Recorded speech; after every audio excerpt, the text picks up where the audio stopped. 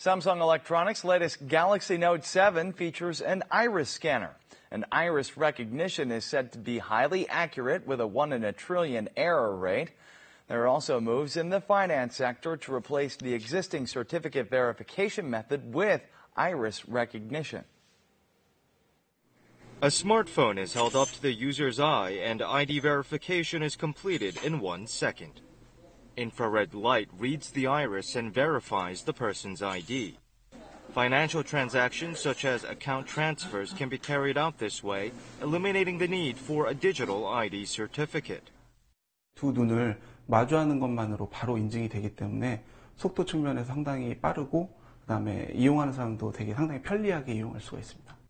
A service that allows the use of automatic teller machines through iris scans alone is expected to be commercialized in the near future. But the technology is not limited to iris scans.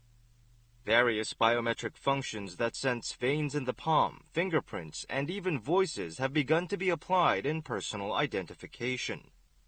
Once biometric recognition becomes widespread, complex verification certificates will no longer be required. Financial accidents are also expected to decrease. However, biometric information can't be changed in the manner of a password. Therefore, if leaked, the damage could be far greater. Measures are needed to safely manage biometric information and prepare against data leaks.